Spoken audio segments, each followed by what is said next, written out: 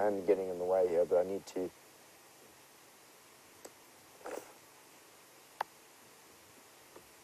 Oh, this is not going to work right. I'm going to have to do this a little bit later. At the moment, let's just do that. and it looks like he's eating or mulling. We've spoken about what elephants do when they mull on a tree.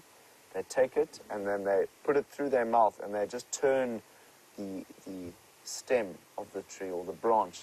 And through just turning it, they can both pull off both bark and the leaves. So it looks like Mr. Ellie is mulling a branch right here.